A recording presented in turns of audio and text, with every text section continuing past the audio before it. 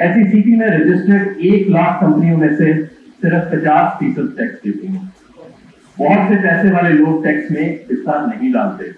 नए पाकिस्तान में इस सोच को बदलना होगा। राम को बेहतर नहीं करेंगे, पाकिस्तान तरक्की नहीं कर सकता। तारीखी तौर पर हमने सेहत तालीम, पीने के पानी, शहरी सहूलियात और लोगों से मुतलिक किसी भी चीज़ पर मकूबा अखराज नहीं किए अब हम इस मुकाम पर आ चुके हैं। जहाँ हमें कर्जों और तनख्वाहों की अदायगी के लिए भी कर्ज लेना पड़ता है। इस सूरत हाल को बदलना होगा। सिविल और अस्करी बजट में कफाई शारी के ज़रिए बचत की जाएगी। इसके नतीजे में सिविल चार सौ साठ रुपए से कम करके चार सौ सैंतीस अरब रुपए किए जा रहे हैं जो कि पाँच फ़ीसद कमी है। अस्करी बजट मौजूदा साल की सतह यानी ग्यारह सौ पचास अरब रुपए पर मुस्तकम रहेगा। बजट के इन मुश्किल फैसलों के लिए मैं वज़ीर आज़म इमरान खान के तदब्बत और अस्करी क्यादत खसूस आर्मी चीफ की सपोर्ट को खराज तहसील पेश कर रहा हूँ। मैं यहाँ वाजे करना चाहूँगा कि पाकिस्तान का दिफा और कौमी खुशमुख्तारी हर शहर पर करता हम इस बात को यकीन बनाएँगे कि अपने वतन और लोगों के दफ़ा के लिए क्योंकि आज हम प्योरली प्रोफेशनल लोग बैठे सारे टैक्स प्रैक्टिशनर हैं। तो मैं समझता हूँ कि मुझे इस हवाले से बात करनी चाहिए कि ये जो बजट है, ये टैक्स प्रैक्टिशनर्स के लिए कैसा है? क्योंकि यहाँ तो सेक्टर टैक्स बिजनेसमैन के लिए तो बाद में बात है कि उसके लिए कैसा है। तो मेरे ख्याल में ये जो बजट है टैक्स प्रैक्टिशनर्स के लिए बहुत हौसला अफजा है। उसमें जो बात की गई है, वो टैक्स बेस को बढ़ाने की बात की गई है। टैक्स बेस को बढ़ाने का मतलब ये है कि नंबर ऑफ़ टैक्स पे जो बढ़ेंगे जब नंबर ऑफ़ टैक्स पे बढ़ेंगे तो ये जो मेरे बच्चे नए नए प्रैक्टिस में आ रहे हैं तो इनका काम चलेगा, इनका बेहतर होगा। इसी हवाले से मैं समझता हूँ कि ये बजट जो है वो बेहतर है। नंबर टू बहुत सारे जो टैक्स पेयर्स थे, वो आउट हो गए थे बिकॉज़ ऑफ़ बेसिक एग्जामेशन जो इन्हांस की गई थी। मैंने उस वक्त भी इसको अपोज किया था, जब 12 लाख रुपए किया गया था तो उस वक्त 12 लाख सारी जब गवर्नमेंट की उसने, मैं किसी सियासी बंदा तो नहीं हूँ लेकिन उसको जाते जाते उन्होंने जो मुस्लिम लीग की गवर्नमेंट थी, उसने एकदम चार लाख से बारह लाख रुपया कर दिया। उनको ख्याल आ गया बिज़नेस कम्युनिटी का कि ये जो बेसिक एग्जामेशन है पढ़नी चाहिए वो बिल्कुल ही गलत था। उसको एक दो लाख रुपए बढ़ाना चाहिए था। ये अब जो है, वो अब उसको जो है ना, वो नीचे ले आए हैं, उसको फिर वापस ले आए हैं। लेकिन इतना भी मेरे ख्याल में वापस नहीं लाना चाहिए था। उसको चार लाख में ले आते ले आए हैं।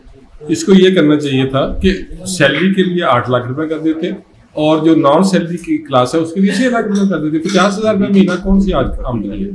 ठीक है? वो इसको जो उन्होंने किया है, गलत किया है, लेकिन फिर अगेन मैं ये कहूँगा कि ये टैक्स प्रैक्टिशनर्स के लिए बेहतर है। तो बहुत सारे लोग जो टैक्स नेट से बाहर हो गए थे, अब दोबारा टैक्स नेट में आ जाएँगे because of basic reduction in basic कि ये हमेशा ही हम ये देखते आए थे कि ये जो है आगे स्लैब जो आगे जाएगी, वो वापस जाना जो है पहली दफ़ा ही ऐसा हुआ है। बहरहाल, ये हमारे लिए जो कि बेहतर है, लेकिन ओवरऑल ये ठीक नहीं है, इसलिए कि हमने ही अपने दोस्तों को, अपने क्लाइंट्स को एक टैक्स प्लानिंग करके दी थी। आपको याद होगा कि पिछले साल हमने बहुत सारे दोस्तों को टैक्स प्लानिंग की, और उसमें उनको कहा कि जी आप ये सैलरी बढ़ा दें डायरेक्टर्स की सैलरीज बढ़ा दें, अपने मुलाजमों की सैलरीज बढ़ा दें, ताकि आपके एक्सपेंसिस जो है वो मीडियम हो सके। अब नुकसान उसका ये हो जाएगा कि अब वो जब सैलरी बढ़ी हुई है, वो उस पर टैक्स तो उतना ही ज़्यादा बढ़ जाएगा। तो यहाँ जो है हमारा क्लाइंट हमें कहेगा कि यार ये तो आपने कहा था तो सैलरियाँ बढ़ा दो तो मैंने सैलरियाँ बढ़ा दी हैं। और अब जो है वो सैलरी के ऊपर सारा टैक्स देना पड़ गया है।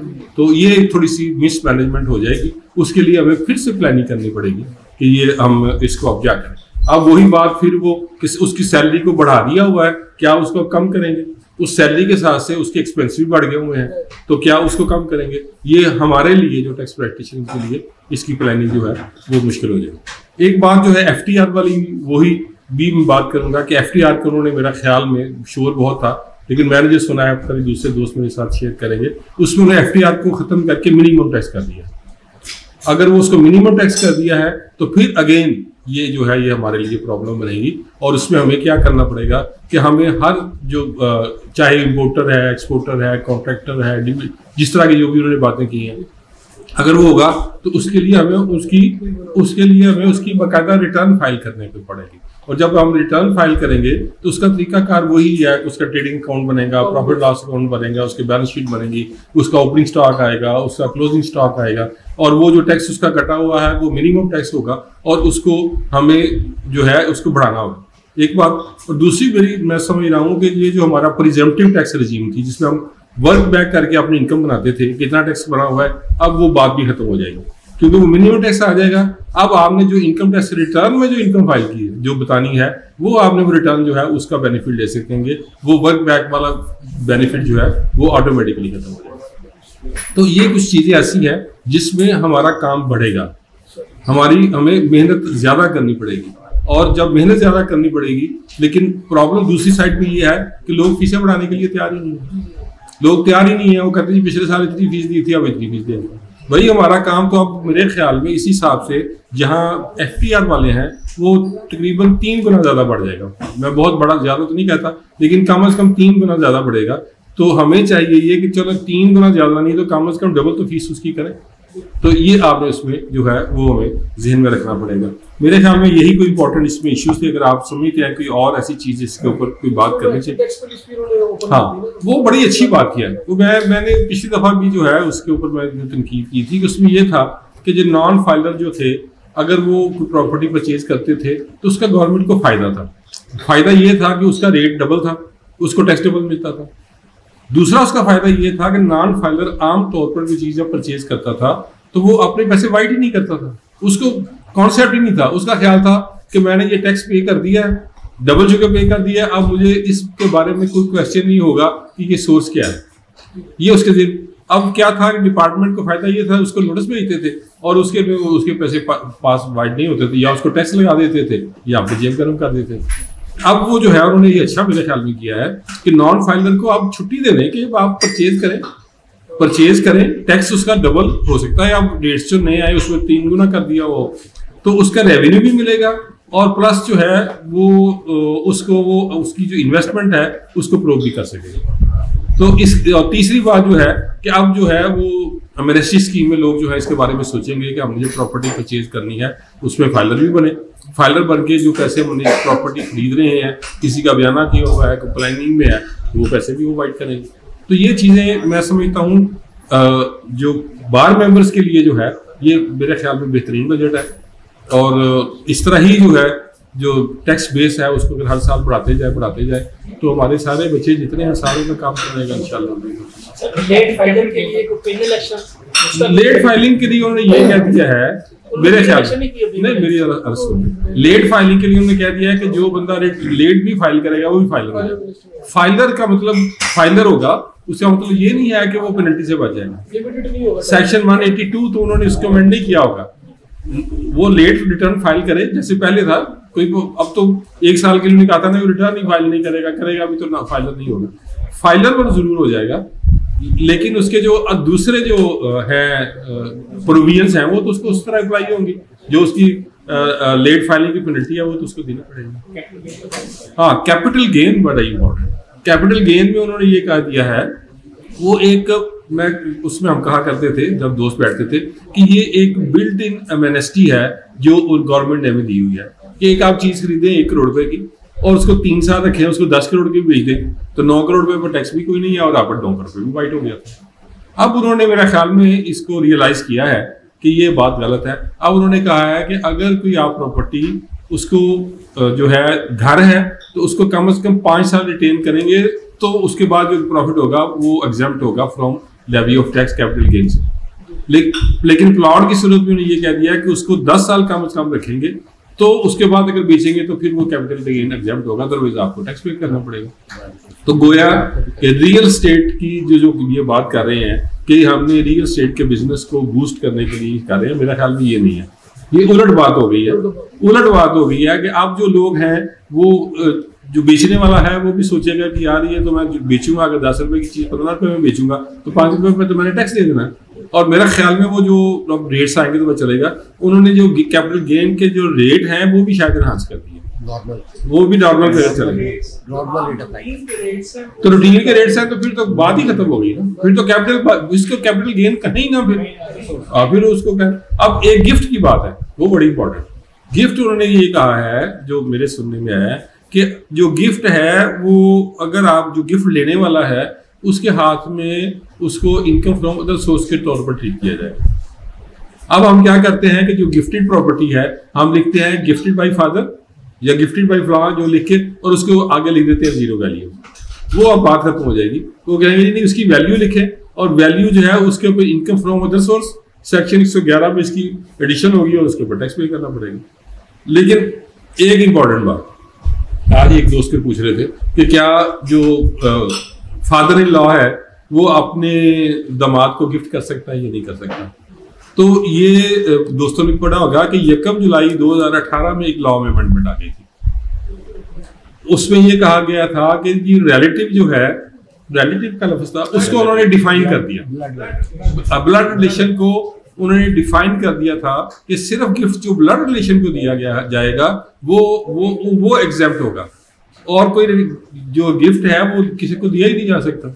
ये मेरा ख्याल में ये जो बड़ी इंपॉर्टेंट आप तो उन्होंने ज़्यादा और क्लैरिफाई इसको कर दिया। एक और हुई है कि जो 10 लाख से ऊपर की प्रॉपर्टी है वो बैंकिंग हाँ वो तो वो तो ऐसे है तो पहले हम कहते थे कि सेल जो प्रॉपर्टी होती है उसमें अगर उसकी वैल्यू दस लाख की है तो उसमें रजिस्ट्री के अंदर लिखा जाएगा कि ये प्रॉपर्टी जो है अगेंस्ट पे ऑर्डर या अगेंस्ट चेक नंबर इतने मैंने दस लाख दी है। ये कोई अच्छी इमेंटमेंट नहीं है। इस वजह से कि लोग पहले भी ऐसे ही करते हैं कि जो ऑफ़ द रिकॉर्ड है उसको payment other than cross check करते हैं। जो ऑन द रिकॉर्ड होती है वो पे ऑर्डर के ऊपर होती है। तो वो अब भी यही हुआ करेगी दस लाख से ऊपर वाली ये जो उसमें अमाउंट होगी उसका पे ऑर्डर या क्रॉस चेक दे दिया करेगा इसमें सेलर के नुकसान होगा? नहीं वो देखे ना वो पहले भी यही बात है पहले भी यही बात है कि जो सेलर है वो आगे कितना विजिलेंट है। जो हमसे मशवरा करते हैं, हम उनको बताते हैं कि जी आप किस तरीके से करें। हम सेलर को कहते हैं, कोशिश करें कि आप जो जितनी प्राइस है, आप उसको थ्रू क्रॉस चेक लें। और उसको बताएँ भी, मैंने भी यही डिक्लेयर करनी है, आपने भी यही डिक्लेयर करनी है। जब हम बायर के वकील होते हैं तो हम बायर को कहते हैं कि यार, उसको कहें कि मैंने इसको डीसी रेट के मुताबिक बताना है, इससे ज़्यादा मैंने पैसे नहीं देना। ताकि वो उसकी जो जाना उसके पास जितनी वाइट बनी है, वो उसी हिसाब से उसके, उसको करे। तो इस वजह से मैं समझता हूँ कि ये जो बात है कि जी दस लाख से ऊपर ज़्यादा जो होगा उसकी क्रॉस चेक की देगी। ये ऐसे ही है पहले भी ऐसे ही हो रहा है। इससे कोई इतना बड़ा जो है ना नुकसान नहीं होगा। ना रियल स्टेट के बिज़नेस को होगा ना किसी सेलर और ना बायर को। अच्छा अब एक और उसमें बात की है। तो जो 236 डब्ल्यू का टैक्स अब अदा करते थे डीसी रेट और दो डब्ल्यू का जो टैक्स अदा कर देते थे वो कहते थे ये जो डिफरेंस है ये आपका ऑटोमेटिकली वाइट हो गया इस पर आपने कोई फर्दर टैक्स पे नहीं करना। अब उसने जो जो इस स्पीच में मुझे लगा है उसने कहा कि वो जो डिफरेंस है वो उसका आपका वाइट नहीं होगा टैक्स आप ज़रूर पे करेंगे। लेकिन उसको भी आपने बताना है कि उसका सोर्स ये पैसे कहाँ से आए? ये इस तरीके वो वो मिट कर दी बात। डबल टैक्स एक पर्सन के पास अगर सोर्सेज मौजूद हैं तो फिर तो मौजूद है तो नहीं तीन परसेंट तो वो सिर्फ़ इसलिए दे रहा है कि वो डीसी रेट और एफबीआर का रेट का फ़र्क है। इस वजह से इस लेने का एक मकसद है।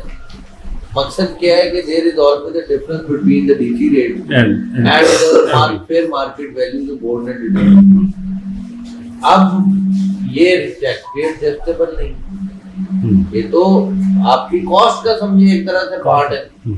तो मुझे ये समझ नहीं आ रहा कि ये जो इसका फिर फ़ायदा क्या होगा लॉजिक क्या है इसकी कलेक्शन की? उसमें जो सुनने में आ रहा है ना वो ये है कि गवर्नमेंट ये चाह रही है कि सूबे अगर कॉपरेट करे तो हम डीसी रेट रिवाइज करके एफबीआर रेट या एफबीआर रेट से ऊपर लेके जाए ताकि ये डिफरेंस रखने की ज़रूरत पेश ना आए।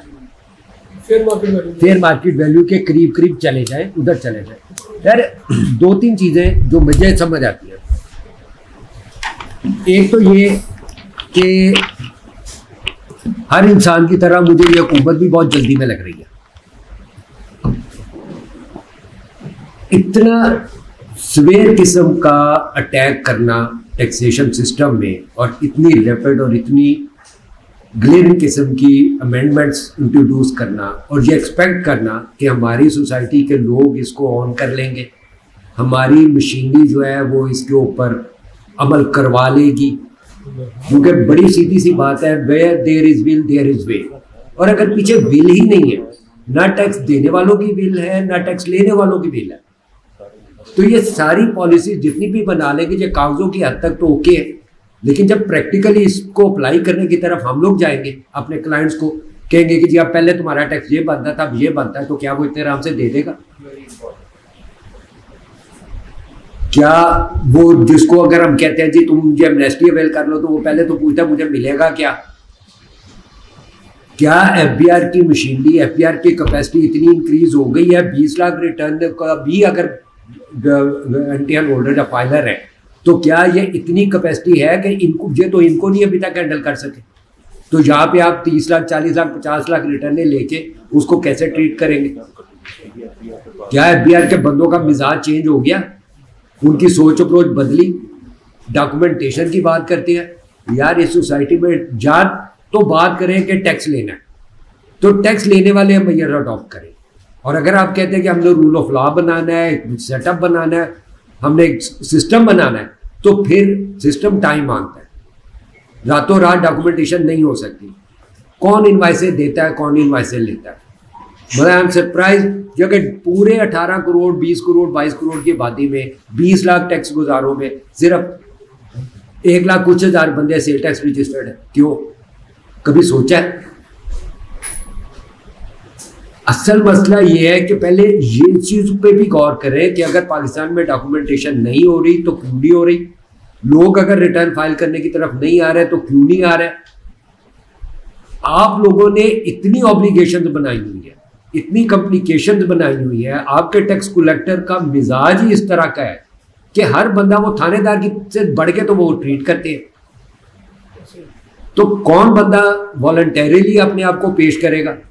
जब तक टैक्स पेयर को यह एतमाद ना हो कि मैंने जो, उसको पहले तो उसको सिंप्लीफाई करने की तरफ़ जिस तरह से सेल टैक्स का कानून पाकिस्तान में नाफिजुल अमल है जो जो मर्ज़ी कर ले, मैं गारंटी से कहता हूँ, पाकिस्तान में लोग सेल टैक्स की तरफ़ नहीं आएँगे। उसको लाने के लिए आप रातों रात हर दुकानदार को सेल टैक्स में नहीं ला सकते यार। उसकी प्रॉब्लम भी समझे। वो जिससे माल खरीद रहा है, वो उसको इन्वाइस देने के लिए तैयार नहीं। वो जिसको माल बेच रहा है, वो उससे इन्वाइस लेने के लिए तैयार नहीं। अब वो क्या करे? कारोबार ना करे, दुकान बंद कर दे फैक्ट्री बंद कर दे, घर चला जाए। उसने बच्चों की रोजी नहीं कमानी। आप हर बंदे को सेल टैक्स में घसीटने के चक्कर में है। उसकी बजाय आप कैटेगराइज करें और पहले एक सेक्टर को तो पूरी तरह कवर कर ले। तीन ही मोड है ना पाकिस्तान में। जहाँ चीज़ें इंपोर्ट होती है, या प्रोडक्ट होती है मैन्युफैक्चर्ड होती है, या उगती हैं। अब उगने पे आपने सेल टैक्स रखा नहीं हुआ। मैन्युफैक्चरर और क्या मैन्युफैक्चरर आप पूरे पूरे मुल्क में सिर्फ़ खाली फोकस कर ले मैन्युफैक्चर कवर करने। हैं चाहे वो एक खराब की मशीन वाला है, चाहे वो बड़ा कारखाने वाला है।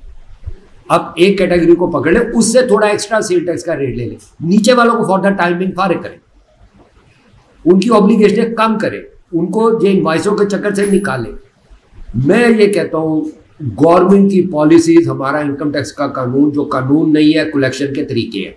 मोड ऑफ़ कलेक्शन है, ये कोई कानून नहीं है, कोई जबता नहीं। जब तक इसकी सिंप्लीफिकेशन नहीं आएगी, जब तक आसानी लोगों के लिए नहीं बनाएँगे ग्रेजुअली लोगों को इस तरफ़ रागिब करेंगे तो आएँगे। वरना इन हालात में ये जो भी कुछ इन्होंने यहाँ पर लिखा है। वैसे भी जो बजट तकरीर में बातें सुन कही जाती हैं, जब वो ब्लैक एंड वाइट में आती हैं तो असल चीज़ तो वहाँ पता चलेगी कि वहाँ पे है क्या। उसका इम्पैक्ट क्या आना है। अब इतनी स्पीडली इन्होंने की और मैं तो मेरा मेरा अपना है। जिस स्पीड से गवर्नमेंट ये पॉलिसी कर रही है, सारी गालियाँ ये खाएगी, फ़ायदा कोई और लेगा। क्योंकि इसने जो भी किया है इसने लगा दिया। टैक्स लग गया, लोगों ने एक साल पॉलिसी, दे दिया टैक्स, अगले साल वापस तो किसी ने नहीं लाना ऑटोमेटिकली रेवेन्यू की कलेक्शन बढ़ गई। लेकिन एक साल में इन्होंने जितनी गालियाँ खानी है, उनका बेनिफिट इनको नहीं मिलना। उनका बेनिफिट आने वाले जो भी आएगा, उसी को मिलेगा। उसे बैठे बैठे, जैसे नवाज़ शरीफ हुकूमत ने जाते जाते इतने बड़े सियासी स्टंट कर गए। 2018 की अमनेस्टी भी सियासी स्टंट था। 2018 के रिवाइज रेट जो थे, वो भी सियासी स्टंट था। और डबल चाल थी कि अगर पता था, यार 12 लाख वाला अगर अस्सी हज़ार रुपया टैक्स दे रहा है, आप उसको 2000 रुपये ले रहे हो वो गैप किसने पूरा करना? था वो समझ नहीं आती इनको। उन्हें पता था कि लोगों को खुश करो। हम साड़ी हुकूमत बनती नज़र नहीं आती आने वाले लिए आपे मुश्किल होगी वो रिवर्स करेगा तो गाला खाएगा। एमनेस्टी उन्होंने इस सोच से दी नहीं थी। और उससे सोने पे सुहागा। अभी जो अमनेस्टी दी है बैरोक्रेसी ने, क्या खूबसूरती के साथ उस अमनेस्टी का स्कोप इतना लिमिटेड रखा हुआ है कि उसमें ये कत्तन ये एमनेस्टी कामयाब नहीं होती नज़र आती। इसमें रेवेन्यू गवर्नमेंट को नहीं मिलता नज़र आता। पता नहीं कौन समझाते हैं इन्हें। ग्राउंड रियलिटीज बता एफ़ की आप छठी, सातवीं मंजिल से जरा नीचे उतर के पिंडी के राजा बाज़ार में भी तो आए। वहाँ भी तो टैक्स पेयर बैठा है यार, उसको भी तो देखो। आप सिर्फ़ ब्लू एरिया की बिल्डिंगें नज़र आती हैं, वहाँ के बिजनेसमैन नज़र आते हैं, वहाँ के इंडस्ट्रियलिस्ट नज़र आते हैं तो काम ट्रेडर को, एक काम ताजर को भी तो देखो उसने भी तो सरवाइव करना है। अब सारा कुछ इतना करके ये चार लाख रुपए की छूट रखने का फ़ायदा क्या है भाई? पर मंथ एक बंदे का घर का बजट तो मिनिमम बजट तो सामने रखो उसे। कम अज कम इसे तो इस इस काबिल तो करो कि वो एक बंदा घर का एक एवरेज का किचन तो चला सके। घर के यूटिलिटी बिल तो दे सके। बिजली भी बढ़ा दी गैस भी बढ़ा दी एलपीजी भी बढ़ा दी मशरूबात भी बढ़ा दी है खाना पीना भी बढ़ा दिया घ्यो भी महँगा करता। छूट जी बारह लाख तो चार लाख ਤੋਂ टैक्स ये आ, ये आप जरा देखें कि चीनी की कीमत स्पेशली उन्होंने कहा क्यों बढ़ाई है? तो उस वजह ये है मुर्शद जहांगीर तरीन साहब बैठे हुए हैं। एक रुपया किलो की चीनी बढ़ाए तो डेढ़ अरब रुपया का फ़ायदा होता है एक एक महीने में एक शुगर मिल को। सिर्फ़ एक रुपया किलो बढ़ाने से डेढ़ अरब रुपया का। अब वो जो पैसे हैं, जो जो लगे हुए हैं, वो मेन जो इसमें इन्वेस्टमेंट हुई हुई है, वो तो सारी चीनी वालों की हुई है। ये चीनी की कीमत बढ़ाने का क्या तुका भी नहीं समझ में? रिश्तेदार याद आ गए जिन्हें बर्फे में किया दस करोड़ रुपए चीनी जी हाँ यही इस तरह की बात इसी तरह की बात। बेसिक सैलरी सत्रह हज़ार पाँच सौ रुपया हाँ अब एक और हाँ ये बड़ी इंपॉर्टेंट बात है। ये बहुत ही इंपॉर्टेंट बात है कि अब जो है अपने अपने क्लाइंट को एडवाइस करें कि भाई तुमने किसी बंदे को बगैर चेक के सैलरी नहीं देनी। चाहे वो एक मजदूर भी है। अब मजदूर भी सैलरी नहीं देगा अंटिल वो अपना बैंक अकाउंट निकलाएगा। क्योंकि वहाँ जो है वो लिमिट पंद्रह हज़ार रुपए की है। यहाँ सत्रह हज़ार पाँच सौ की मिनिमम हो गई है। तो इसलिए आप जाके जब ये कहते थे ये लेबरर है इसकी तरह कम है और इस वजह से इसको हमने पेमेंट दे दी है। वन सिक्सटी वन ना लगाए इसमें सारा कुछ बात करें। जकब जुलाई से ये बात खत्म हो जाएगी।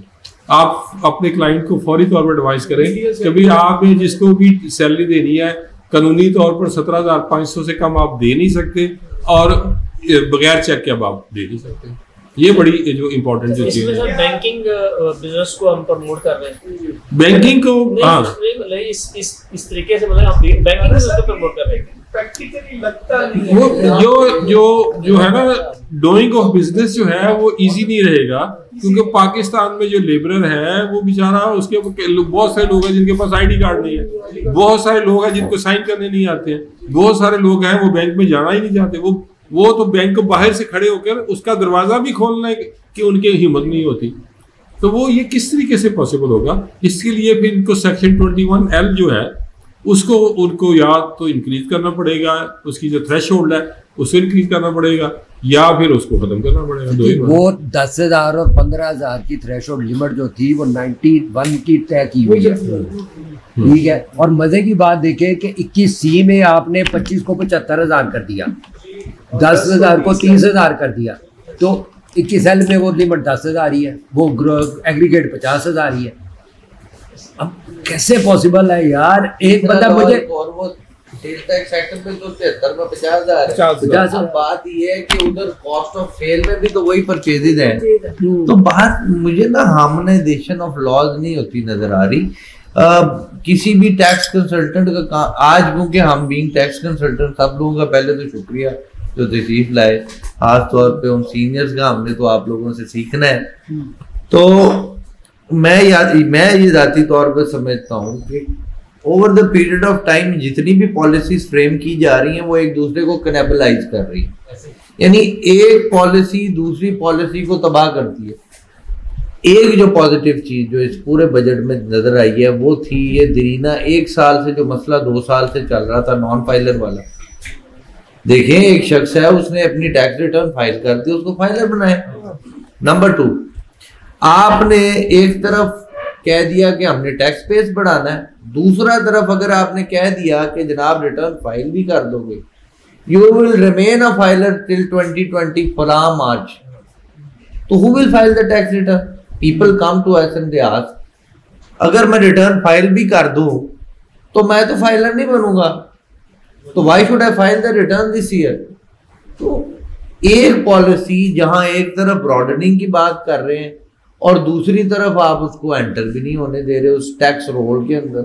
तो फिर वो एक ये मेरा ख्याल है दो सौ सताईस सी में अमेंडमेंट जो 50 लाख से ऊपर वाली प्रॉपर्टी की, वो देखें आपने खुद ही इकोनॉमिक एक्टिविटी को भी होल्ड कर दिया। एक तरफ़ आप कह रहे हैं कि जनाब डॉक्यूमेंटेशन हो, फिर क्या होना शुरू हुआ? मेरे पास फॉर्चुनेटली दो तीन सोसाइटीज के केस हैं, वहाँ लोगों के क्वेश्चन आते हैं कि एक प्रॉपर्टी यार पाँच बंदों के नाम कर लेते हैं। ठीक है अब क्या फ़ायदा हुआ? पाँच बंदों के नाम देखिए ट्रांजैक्शन रोकी नहीं जा सकती। हाँ कम हो जाती। है इसके अंदर ये रिस्ट्रिक्शन हटाने से जो उसका फ़ायदा हुआ। एक बहुत बड़ी ह्यू एंड क्राई मेरा ये पिछली जो एमनेस्टी स्कीम में, वो कि मैं बड़ा हैरान था, क्योंकि बजट जो उस दिन की एमनेस्टी स्कीम का ऑब्जेक्ट था, वो था उस स्कीम को फ्रोग देना तो भट्ट साहब जब आए तो उन्होंने कहना शुरू कर दिया कि जी ये स्कीमें ये होती हैं तो वो होती हैं तो मैं वो थिंकिंग ऑफ के भट्ट साहब पूरे जड़ा वो ਸੈਮੀਨਾਰ ਦਾ ਮਕਸਦ ਸੀ ਉਹ ਫੌਤ ਹੋ ਗਿਆ ਉਸ ਵਿੱਚ ਇੱਕ ਸਭ ਤੋਂ ਇੰਪੋਰਟੈਂਟ ਜਿਹੜੀ ਗੱਲ ਉਹਨਾਂ ਨੇ ਕੀਤੀ ਉਹ ਸੀ फाइनल टैक्स रजीम कि यार ये फाइनल टैक्स रजीम वाले जो है ना चोर होते हैं मेरा ला वो सुन ली है बात मिनिमम टैक्स रजीम में ले गए अब वो चीखे मारेंगे सर देखिए प्रिजम्पटिव टैक्स वो सप्लीमेंट्री में खत्म हुआ। लेकिन वो सर सिर्फ़ हुआ इम्पोर्टर्स के लिए। अभी क्योंकि पूरा जाके बिल पढ़ेंगे तो पता चलेगा कॉन्ट्रेक्चुअल एग्जीक्यूशन ऑफ़ वर्क वाले के साथ क्या किया गया। वो देखें आपने साढ़े सात परसेंट सर ग्रॉस रिसीट्स का ले रहे हैं आप।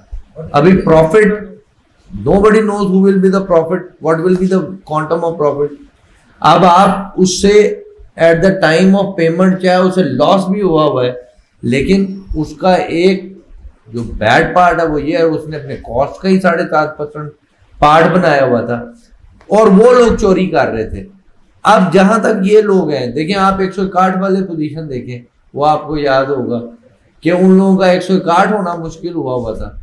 वो अब जब ये मिनिमम टैक्स रिजीम में आएँगे तो ना सिर्फ़ इनके लिए ये प्रॉब्लम आएगी कि ये जो टैक्स है मिनिमम टैक्स हो जाएगा but at the same time अब जब वो अकाउंट्स वहाँ सबमिट करेंगे तो एक सौ कार्ड शुरू हो जाएगा। जब उनकी जो जो अभी राम साहब भी बात कर रहे हैं कि उसमें जो अपने मजदूर को तनख्वाह देनी है क्रॉस चेक उसकी टैक्स की कटौती हर बोचर हर बिल अब प्रैक्टिकली लोगों को सोचना चाहिए कि क्या ऐसी कैटेगरी के लोग एकदम इस सिनेरियो में आने के लिए तैयार है। या हमने उनकी मेंटल ग्रूमिंग इतनी कर दी है? हम्म। कि वो अपने आप को इस तरफ़ ला रहे हैं या ले आएँगे फ़र्क ये है। फ़र्क ये है ये कॉन्ट्रैक्टर्स वगैरह ये मॉडल जो थे ये पहले नॉर्मल ठीक है पहले भी किसी वक्त में ये नॉर्मल लॉ में ही होते थे। हाँ। ऐसे ही था। नॉर्मल लॉ में होते थे और उनका जो टैक्स कटता था डिडक्शन एट सोर्स होती थी लेकिन वो एडजस्टेबल थे। एडजस्टेबल थी और रिफंडेबल भी थी। एडजस्टेबल होने की वजह से। लेकिन अब जो ज़्यादा जो जुल्म किया उन्होंने वो ये किया है कि उसको मिनिमम कर दिया। मिनिमम वाला जुल्म है बात। उसको ठीक है उसको अगर करना है तो उसको एडजस्टेबल करें। मिसाल के तौर पर एक बंदा है वो उसको कॉन्ट्रैक्ट मिलता है एक लाख रुपए। एक लाख रुपए कॉन्ट्रैक्ट मिला, उसका साढ़े सात हज़ार रुपए कट गया। अब एक लाख रुपए की आप वो जो भी कर ले, चार लाख तो इनकम नहीं बन सकती। तो वहाँ उसको आप कहें कि एक लाख रुपया आप इनकम है और आपका मिनिमम टैक्स साढ़े सात हज़ार रुपया यार जुलम है उसको अगर साढ़े सात हज़ार आपने काट लिया है तो उसको वापस करें। क्योंकि उसके तो चार लाख रुपए की इनकम ही नहीं बन रही बेसिक थ्रेशर से नहीं कर ली same is the case with property income property income आप क्या दो लाख के ऊपर आप टैक्स दे, उधर आपने थ्रेश रखा हुआ है, चार लाख रुपया तो इसलिए मेरा ख्याल में ये ज़्यादा हुई है कि लफ्ज जहाँ उन्होंने मिनिमम का कहा है, उसको एडजस्टेबल कहना चाहिए, फिर ठीक है। Minimum tax regime minimum tax regime जो है ये तो इनडायरेक्ट टैक्स हो गया ना पर ये यही एक्ट्स हैं जो कि लोगों को कंपेल करते हैं कि भाई दौड़ो चाहे लॉस हो जाए घट तो घट है देने देना। ਤੇ ਜੇ ਪ੍ਰੋਫਿਟ ਹੋ ਜਾਏ ਤੇ ਤੇ ਇਸ ਜ਼ਿਆਦਾ- ਤੋਂ ਉੱਤੇ ਟੈਕਸ ਬਣਿਆ ਤੇ ਉਹ ਦੇ और मजबूर ये विदोल्डिंग की प्रोविजंस और ये ऑब्लिगेशन वो प्रोविजन है जो लोगों को मजबूर करती हैं और गवर्नमेंट खुद कहती है कि झूठ बोलोगे तो बचोगे सच बोलोगे तो तुम्हारी खैर नहीं तो अगर सच बुलाना है तो सच बुलाने वाली हरकतें भी तो करो। लोगों को ईज तो करो। अपने टैक्स ऑफिसर्स को थोड़ा सा इस तरफ़ तो लाओ। लोग टैक्स देने से नहीं दौड़ते इसमें आपसे दुर्हासी है सॉरी दुर्हासी है कि आप इसका जो है पोस्ट ग्रेजुएट सेमिनार आप करेंगे। लेकिन पोस्ट ग्रेजुएट सेमिनार में जो हमारी ट्रेडिशन है ना वो ट्रेडिशन है कि हम एक स्पीकर लाते हैं। वो आता है वो आके कहता है जी ये ये अमेंडमेंट्स हुई हैं ये हुआ ये हुआ ये हुआ ये हुआ कह के चला गया। ये इसको इस तरीके से किसी तरीके से किया जाए। हाँ, इसको हाँ, इसको स्टडी के तौर पर जिस तरह आज हम बैठ के कभी मैं बात कर रहा हूँ ये कर रहे हैं आप सब लोग जो है बात कर रहे हैं। प्रपोजल भी जानी चाहिए हाँ। हमारी बात इस तरह से आप वो करें और ये इसको लेट कुछ ना करें बल्कि जल्दी जितनी जल्दी कर देंगे। वाला जो है 214 सी में भी आएगा बिल्कुल ये 214 सी भी आएगा मिनिमम यार मिनिमम टैक्स वाली कितनी ज़्यादा वाली बात है? टर्नओवर टैक्स वाली कितनी ज़्यादा वाली बात है? 161 में भी आ गया। वन सिक्सटी वन वाली आप अलहदा आपने कुंडी है उसको दिमाग में उसको फंसाया हुआ है। है ये बहुत बड़ा फाइनल टैक्स भी दे रहा है। मिनिमम लाने में एक पंडोरा बॉक्स खुल जाएगा। ज़ाहिर। नहीं मेरा ख्याल ये है कि सर मैं यहाँ पे जो जो बेसिक एम है ना गवर्नमेंट का मेरी नज़र में वो ये है ब्रॉडनिंग ऑफ़ टैक्स ये एम है जिसको लेके आप चलते हैं। क्या यही रहे? हाँ, मतलब? लेकिन एक स्कीम आप गवर्नमेंट चाहे ये थी या पिछली थी तो इंटेंट तो सैतालीस से आज तक कोशिश तो डॉक्यूमेंटेशन का यही हुआ कि वो सैतालीस से आज तक बीस लाख लोग हम डॉक्यूमेंटेशन ऑफ़ इकोनॉमी में ला सके सैतालीस से आज तक। प्रैक्टिकली आज ये जो दूसरा मुझे मकसद अब नज़र आ रहा है जब आप मिनिमम टैक्स रिजीम के ना इम्पैक्ट्स में जाते हैं इम्पैक्ट ये हुए कि आपने अकाउंट सबमिट किए। आपकी एक, जो डिस्क्लोजर आपका पिछले सालों में कॉस्ट ऑफ़ सेल्स या कॉस्ट ऑफ़ रिसीट्स का डिस्क्लोजर नहीं आ रहा था, वो डिस्क्लोजर आ गया। अब वो जो कॉस्ट ऑफ़ रिसीट्स हैं, वो सब्जेक्ट तो एक सौ इकाठ होंगी। अब जब आपने एक सौ इकाठ किया तो साथ ही आपने ना डॉक्यूमेंटेशन ऑफ़ इकोनॉमी को भी फरोग दिया आप बताएँगे? मैंने आशिक का टैक्स काटा, मैंने भाई का टैक्स काटा, मैंने इनका काटा इनका काटा, इनका टैक्स सो इस तरह आप जब वो टैक्स काटेंगे तो वो डिपॉजिट भी किसी आइडेंटिटी के अगेंस्ट होगा। So it is I believe another way of looking into के this is again a broadening of tax लेकिन खुशी की बात तो हम लोगों को ये होनी चाहिए कि हमारा काम बढ़ रहा है भाई। आज का जो कट का मकसद है, वो ये देखना है कि लाहौर टैक्स बार के मेंबर्स को इसको क्या फ़ायदा है नंबर वन वो कि कंट्री का फ़ायदा भी हमारे साथ, देखें डॉक्यूमेंटेशन ऑफ़ इकोनॉमी में तो कंट्री का फ़ायदा है, इसमें कोई डाउट नहीं है। क्लैरिटी होनी चाहिए हमें। नुकसान होता है या फ़ायदा होता है।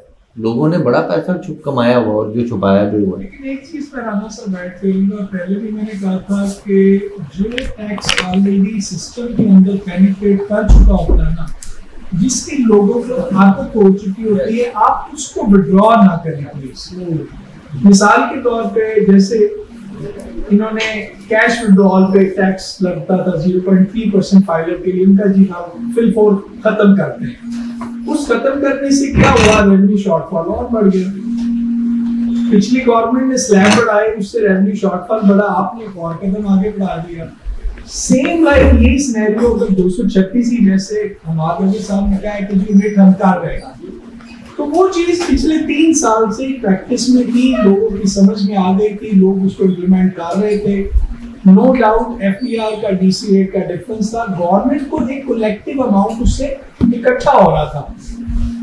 एक वक्त में खरीदार और बेचने वाला दोनों तीन तरह के टैक्स गवर्नमेंट को दे रहे थे एक प्रॉपर्टी के ऊपर। तो रेवेन्यू कलेक्शन ग्रेजुअली बढ़ रहा था। भाई पाँच छह किस्म के दे और अब आप उसको इमिट कर रहे हैं। इमिट करने के बाद पहला आप क्या करेंगे? डीसी इनहेंस करेंगे कुछ और करेंगे? तो पर्पस आपका रेवेन्यू कलेक्शन है। तो खुदा के लिए जो ऑलरेडी जिस तरीके से लिया जा रहा है पुरसकून तरीके से लिया जा रहा है किसी को मेरा ख्याल उससे कोई तकलीफ़ नहीं है। Why the provincial tax can not be linked with the FPR market rate simply लेकिन स्टैंप एक्ट के तहत भी तो आप स्टैंप ड्यूटी पे कर रहे हैं और उसी वैल्यू पे जाके आप रजिस्टर करा रहे हैं। उसमें प्रॉब्लम क्या है कि प्रोविंशियल टैक्स जो है वो डीसी रेट सूबे ने जारी करती है। सुबह मैं नहीं सर बात एक हुकूमत तो है नहीं चार को हारमोनी की बात कर रहा हूँ। मैं मैं सिर्फ़ अर्ज़ कर रहा हूँ हारमोनी यहाँ तो फेडरल लॉज में आपस में हारमोनी नहीं है तिहत्तर और इक्कीस की बात हम कर रहे हैं। उधर आपस में फेडरल लॉ में हारमोनी नहीं है यहाँ हम प्रोविंस और फेडरेशन लॉज की आपस की हारमोनी की बात करेंगे। देखिए जी डीसी रेट जो प्रोवाइड किए गए हैं चाहे वो प्रोविंस ने करने मैं तो मुल्क को देख रहा हूँ। चाहे वो प्रोविंस ने करने हैं चाहे वो करने हैं फेडरेशन ने मुझे इससे अभी गर्द नहीं है। हालाँकि I am a student of law but I am of the view that if federation says that this is the fair market value of a per marla area of land why the uh, province is silent on it? They should also modify the कितनी देर लगती है? होना ही चाहिए। और वो basic rate है sir वो minimum है जिसके ऊपर रजिस्ट्री होनी है। हमने बेंचमार्क ही उसे बना लिया है कि रजिस्ट्री की स्टैंप ड्यूटी पे ही उसके ऊपर करनी है। वो तो मिनिमम है। मैं इस पर आपको अपना एक्सपीरियंस शेयर करूँगा। ये इत्तेफाक से जब ये एफ़ डी आर रेट को कर किए उस वक्त जो सेक्रेटरी था बोर्ड ऑफ़ रेवेन्यू वो मेरा दोस्त था। मैंने इसको कहा कि, यार, ये देखो एफ़ बी आर ने ये जो रेट है, कर रहे हैं, और वो रेट उससे ज़्यादा है जो आप लोगों ने किए हुए हैं, जो आपने फिक्स किए हुए हैं। तो ये जो रेट है, आप इसको एनहांस करके तो आप जो आपने बात की, आप क्यों नहीं उस पर ले जाते जो कि एफ़ बी आर ने कहा? वो क्या कहता है? वो कहता है जी कि ये जो एफबीआर वाले हैं, ये सारे बेवकूफ़ लोग सेक्रेटरी लेवल का बंदा। तो वो क्या कहता है? वो कहता है जी, ये तो इनको क्या पता कि रेट यहाँ क्या है? ये तो इस्लामाबाद में बैठे हुए हैं और वो आगे कहेंगे कि ये इस्लाम नगर में ये रेट है, ये तो बेवकूफ़ लोग क्या बैठे हैं, इनको क्या पता पता हमने तो एक एक इंच को जाके देखा हुआ है। हमें पता है कि ये इस जगह है, गहरी है, इसका ये रेट है, ये ऊपर जगह है, इसका ये रेट है। ये कमर्शियल है, ये सेमी कमर्शियल है, यहाँ वैल्यू ये है। तो हमने जो फिक्सेशन की हुई है ना, उससे बेहतर फिक्सेशन हो ही नहीं सकती। अगर हमें एफ़ कहे कि जी आप इसके रेट बढ़ा दें, हम तो कोई नहीं बढ़ाएँगे। और वही हुआ। और वही हुआ एफ़ ने इसको कहा, बढ़ाए। उन्होंने कहा, जी नहीं, जो हमने रेट फिक्स किए हुए हैं, वो एक्चुअल के बहुत करीब है। FBR के रेट और किसी जगह कई जगहों पे है भी ऐसा वो एक्चुअल रेट नहीं है और उससे ज़्यादा एफ़ बी आर फिक्स किया हुआ तो ये एक वजह है आपस में कंफ्लिक्ट मैं तो सर हारमोनी की बात कर हाँ, डोंट से मैं कहता हूँ दस लाख उधर है दस लाख इधर है। ये उसकी बात मानने वो उसकी बात मानने देखें हकीकत से तो वो भी नज़र नहीं चुरा सकते। आज अकबरी मंडी मुझे याद है स्टैम्प ड्यूटी के जो रेट डीसी ने कर दी है उससे सस्ती वहाँ प्रॉपर्टी मिल रही थी।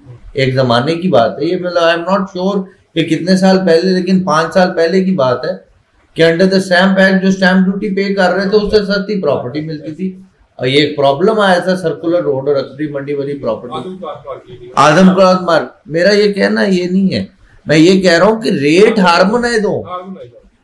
सिर्फ़ और सर ये मैंने सवाल पूछा लेकिन मुझे वो क्लियर नहीं हुआ। 236 डब्ल्यू क्यों लिया जाए? सवाल नहीं समझ समझ नहीं उसकी दो चीज़ें मेरी नज़र में 236 डब्ल्यू की कलेक्शन दो उसके दो बेनिफिट हो रहे हैं। एक तो कलेक्टर को थ्री परसेंट टैक्स मिल रहा था। Of the difference of DC rate and F rate secondly वो इसलिए टैक्स पेयर या बायर जो था वो पे कर रहा था कि वो उतना उसकी आप समझता था उसकी तीन परसेंट आज इनकम वाइट हो रही है। आज क्यों दो जब इनकम वाइट होने वाला कॉन्सेप्ट खत्म हो गया। सर अभी भी देखिए पहली बात यह है कि जब तक एफ़ के रेट और डीसी रेट की जो हार्मोनी की बात आप कर रहे हैं जब तक वो नहीं होता ये फ़र्क रहना है। ये फ़र्क रहना है। अब इस फ़र्क को मीट मीट करने के लिए फेडरल गवर्नमेंट की प्रॉब्लम ये है कि सूबे उसकी रेट अप्लाई करने के लिए तैयार नहीं, नहीं उनकी नज़र में वो एक्स्ट्रा है। वो तीन परसेंट दे रहे हैं। दो सौ छत्तीस हाँ वो उनका सवाल और अमेंडमेंट से पहले की पोजीशन ये आज तीस जून 2019 से आगे ये लागू होगा। मैं पहली ये कह रहा हूँ कि 236 डब्ल्यू का एक मकसद था हम्म, कि दोनों के जो डिफरेंस में 111 की इम्प्लीकेशन आती थी वो नहीं आएगी डिफरेंस पे। ठीक है। अब मेरा सवाल सिर्फ़ इतना है अब मैं 236 डब्ल्यू क्यों दूँ?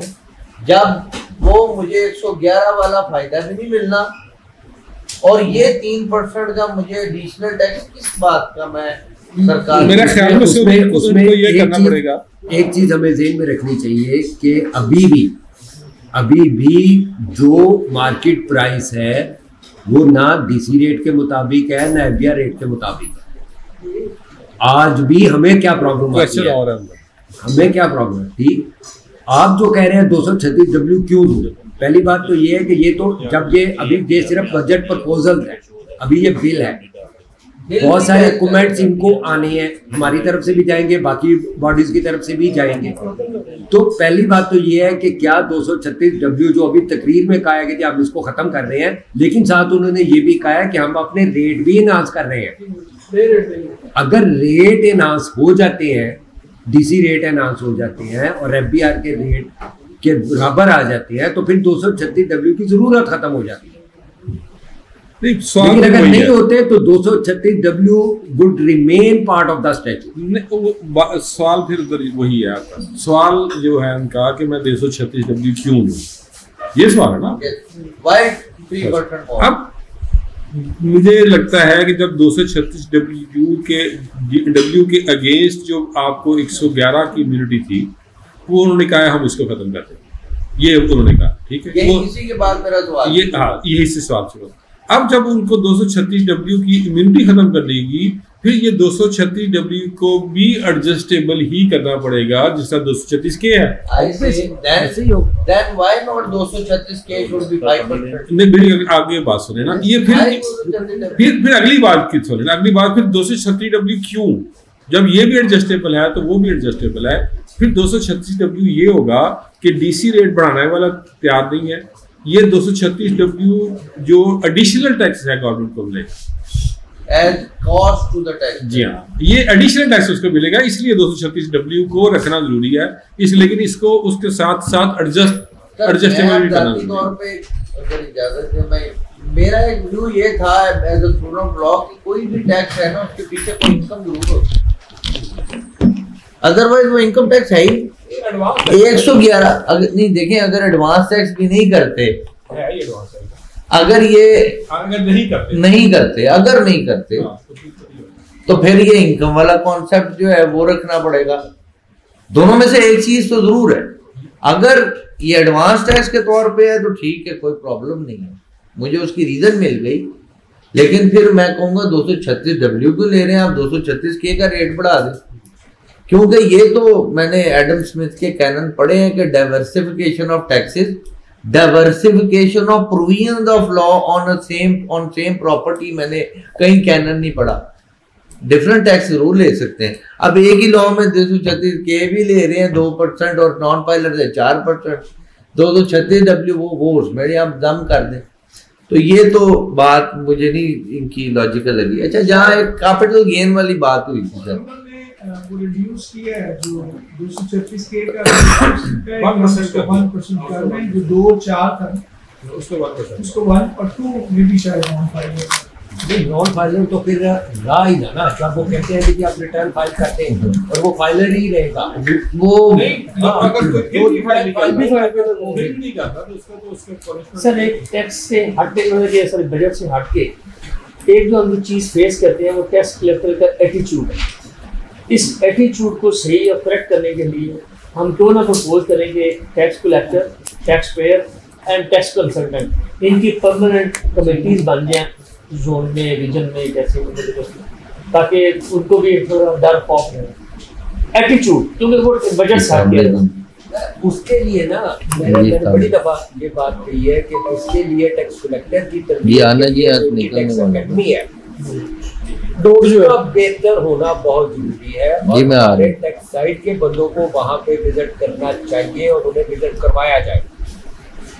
ताकि उनकी थोड़ी जब हम दो होंगे एक टैक्स पेयर भी और टैक्स कलेक्टर भी और वो एक होगा तो ब्रदर ती अब आप आप सही कह रहे हैं। कर भी लेंगे। अगर हम ये कमेटियाँ बनी बनी हुई है हमारी बात भी बनी हुई है जी जी। नहीं वो तो हम लोग हैं। एफबीआर लेवल सरकारी सतह पे बननी चाहिए। भाई प्रॉब्लम क्या है? जब आप एक टैक्स अफसर को एक बजट का टारगेट उसके जेब सामने आपने रख दिया अब उसके सर्कल में जितने भी केसेस है वो जनरली उतना रेवेन्यू सर्कल के उन केसेस से नहीं बनता। But he is bound to get that revenue लेकिन अच्छा, sir. He has to maintain the rationality दफ्तर में मैंने को- उधर से हो सरकारी। इधर से भी अपना बंद वो रोल प्ले कर जाती। है व्हाट्सएप का लैपटॉप गाड़ी में ये भी तो नीड है ना time need of the time है कि रैशनैलिटी को में मेंटेन रखवा टारगेट अपनी जगह। अभी रखवा के एक फाइनल कारोबारी बंदे को पाकिस्तान मैंने जैसे मुल्क में कितने इदारों से डील करना पड़ता है बड़े घर में वो और हर फ़ंक्शन इदारे को ना सिर्फ़ उसका ड्यू शेयर किया जाता है जो लॉ में प्रोवाइडेड है बल्कि हट के हर इदारे का जी बिल्कुल चीज़ें रखवा दें। सुबह हाई कोर्ट मेरे पास क्या पोजीशन ये है? सरकारी मशीनरी दो साल के लिए अपना हिस्सा माफ़ कर देना हमें। क्योंकि पाँच रुपए का पैकेज है ना दो रुपए टैक्स तीन रुपए मेरे। तू तीन रुपए दे जमा करा दे तेन दो रुपये माफ़ कर ते साढ़े कौन साढ़ा बजट काफ़ी ज़्यादा। मुझे बहुत सारा ही ना हो। जब मैं अपना अपनी जात को तो मैं छोड़ने के लिए तैयार नहीं हूँ। तो फिर उसका बटन किस पे आना टैक्स पेयर पे। टैक्स पेयर ने कहा से देना है? है सर नहीं ये भी तो हमारी प्रैक्टिस का हिस्सा है। हाँ वो लेकिन आज तो पुरानी बात। प्रैक्टिस होती थी कि मुझे अच्छी तरह याद है कि हम लोग रिटर्न फ़ाइल करते हुए साथ ही इम्यूनिटी आ जाती थी रिवाइज रिटर्न करते थे। एक सर्टेन परसेंटेज ऑफ़ टैक्स बढ़ाते थे और वो इम्यूनिटी में आ जाता था प्रोडक्ट और तकरीबन जितनी बिज़नेस की रिटर्न फ़ाइल होती थी सारी की सारी रिवाइज होती थी इम्यूनिटी के लिए इस तरह ही होता था कि रेवेन्यू की ग्रोथ भी मिल जाती थी और टैक्स पेयर का कॉन्फिडेंस भी बढ़ जाता था कि मुझे अब कॉम्प्लिकेशंस में नहीं आना उसमें उसमें बात राणा साहब किया थे जो अभी बात कर रहे थे वो किसने खत्म कराई? एफबीआर के ऑफिसर इस वजह से जो लोग उसको 25 परसेंट बढ़ा के दे दिया। तो आप उनकी जेब में क्या जाना उनको किसने पूछना है? डिस्कशन खत्म हो। इस उसको अब्दुल्ला यूसुफ के दौर में। हुई थी। उसको पूछते ही कोई नहीं था। उसने कहा कि यार ये तो खत्म कराओ ना। ये खत्म कराओगे तो हमारी भी पावर बनेगी ना। ये खत्म कराओगे तो हमारी इज़्ज़त बनेगी। ये खत्म कराओगे तो हमारी जेब में पैसे आएँगे। इसलिए वो खत्म करा दी गई। अब उसका नाम यूनिवर्सल सेल्फ असेसमेंट में दे दिया गया। तो नो नो नो ये इम्यूनिटी आप नहीं है।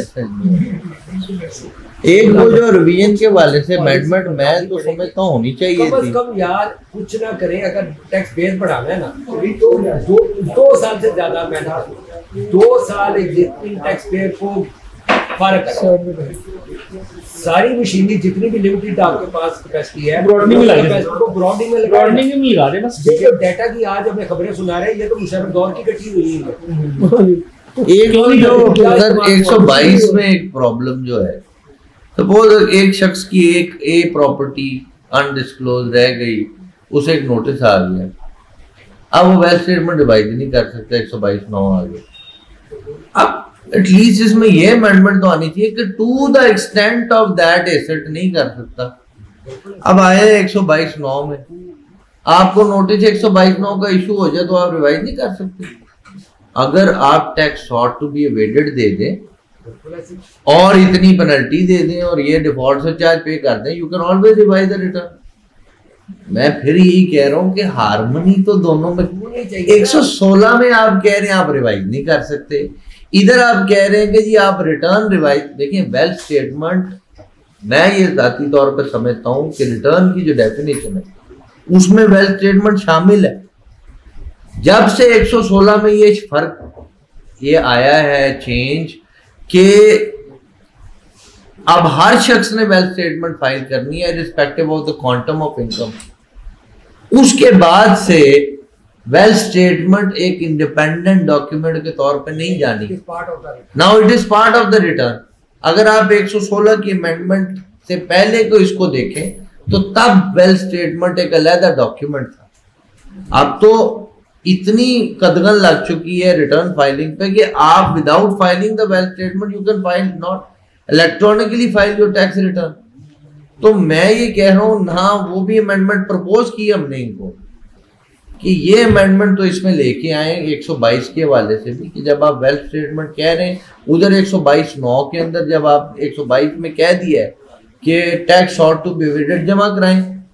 पेनल्टी इतने परसेंट जमा करा दें you can always revise the दूसरी तरफ़ 116 में जाए कह दिया 122 नौ इशू हो गया आप रिवाइज नहीं कर सकते तो, तो ये अप्रोच वाली इसके आगे एक और इससे आगे एक और वो है सेक्शन 111 अब सेक्शन 111 ये कहता है कि आपने कोई एसेट्स डिक्लेयर नहीं किया। एक बात आपने कुछ एसेट्स डिक्लेयर किया है वो और बात। आपने सेल्स डिक्लेयर की है नहीं की है वो 111 और बात। लेकिन आखिर में एक बात करता है कि the tax payer offers no explanation फिर उसकी सेक्शन क्या? इसका मतलब ये हुआ कि अगर उसके पास एक्सप्लेनेशन हो उसे मैंने एक प्लॉट खरीदा और मैंने उसको डिक्लेयर नहीं किया। अब मेरे पास क्या था कि मेरे पास एक्सप्लेनेशन ये थी कि नाम ये जो पैसे हैं मुझे गिफ्ट मिला था ये मेरी फॉरन रेमिटेंसीज थी और मैंने उसको बता दिया कि ये मेरी फॉरन रेमिटेंसीज है इस प्लॉट को खरीदने के लिए। Meaning thereby I have explain sources regarding purchase of that asset तो अब उसकी 611 जो है उसमें एडिशन नहीं हो सकती। तो फिर आप ये जो है आप कहेंगे कि आप रिटर्न बेस्ट स्टेटमेंट वाली बात आप रिवाइज मैंने वो जो ही डाला था यहाँ पे मैं बेस्ट स्टेटमेंट रिवाइज करूँगा प्रॉपर्टी अगर मैं एसेट डिक्लेयर करूँगा तो वो भी तो बताऊँगा। यस ऑब्वियस सर 111 का स्कोप खत्म तो नहीं हो गया। तो नहीं हो गया। अगर देखा जाए। तो हम रिकॉन्साइल्ड उसमें रेक्टिफिकेशन ऑफ़ मिस्टेक्स के साथ लिंक नहीं कर सकते। रण सर आपसे एक छोटा सा क्वेश्चन है। अमनेस्टी के हवाले से। दो तरह के लोग हैं। एक वो बंदा जो टैक्स की रिटर्न फ़ाइल कर रहा है और दूसरा बंदा जिस, जिसके पास एन टी एन भी नहीं है उसने आज तक रिटर्न फ़ाइल नहीं किया। जिसने आज तक रिटर्न फ़ाइल नहीं की अब उसके पास जो टाइम बार्ड एसेट्स है उस पर एमनेस्टी लेनी चाहिए कि नहीं लेनी चाहिए? बार्ड बाय टाइम मेरे मेरी राय में देखें का स्कोप है बड़ा लिमिटेड ये कवर क्या कर रही है? सिर्फ़ एसेट्स किसी भी तरह के वो मूवेबल इमूवेबल एक्सपेंडिचर और तीसरा कौन सा है? सेल सेल टैक्स का स्कोप सिर्फ़ है for the purpose of sale tax उसका इनकम टैक्स के तहत कोई ताल्लुक खिचड़ी बनाई है इस एमनेस्टी स्कीम आपने तीस जून अठारह तक की सेल का दो परसेंट पे करना है वो सिर्फ़ आपकी सेल टैक्स की लाइबिलिटी मैं उधर ही आ अब सेकंड जो पार्ट है उसका आ गया। अब जब आप नए टैक्स गुजार अगर मेरे पास कोई आता है वो कहता है कि मेरे ये, मेरे पास ये दो घर है, ये दो गाड़ियाँ हैं, ये मेरे पास बैंक है और ये मेरी छोटी सी दुकान भी है। मैंने मैंने टैक्स गुजार करना और मैं एमनेस्टी में डिक्लेयर करना चाहता हूँ। अब खाली एमनेस्टी का फॉर्म तो नहीं जाना। उसकी रिटर्न उसकी वेल्थ स्टेटमेंट वो भी मेरी रिक्वायरमेंट होगी। जब मैं वेल्थ स्टेटमेंट या रिटर्न बनाऊँगा तो मुझे सारे एस्पेक्ट्स को उसमें कवर करना अगर प्रिसाइजली मैं अगर आपकी जगह पे होऊँगा तो मैं ऐसे केसेस में मैं कहूँगा कि भाई डेढ़ परसेंट टैक्स पे कर दो। चाहे वो एसेट उन्नीस सौ चालीस का अगर हम नेस्टी के थ्रू इन होना है तो। अगर नेस्टी के थ्रू इन होना है तो। वरना पहले रिटर्न फ़ाइल कर दो। फाइलर बन जाओ। फिर वो आपके सदी लिमिटेशन कब से होनी है? फाइलर की दस साल नॉन फाइलर की दस साल पहले तक, एक सौ चौदह। और उसका एक रिटर्न तुम्हारे एक रिटर्न आपने जमा करा दिया हम पाँच साल की लिमिट हाँ राणा साहब इसमें आपका क्या पॉइंट है? अभी मैं फाइलर के वाले से जो क्वेश्चन है राणा साहब की तरफ़ हमारा जो है हमारा प्रोफेशन की एक खूबसूरती है वो है डिफरेंस रूटीन ठीक है ना? मैं जो बड़ साहब से जो है ना डिफर करता हूँ। ठीक है? खूबसूरती पैदा करनी है। वैसे नहीं। उसमें मैं समझता हूँ कि आपने वेल्थ स्टेटमेंट फ़ाइल करनी है 2018 आपने इनकम टैक्स रिटर्न फ़ाइल करनी है 2018 ठीक है?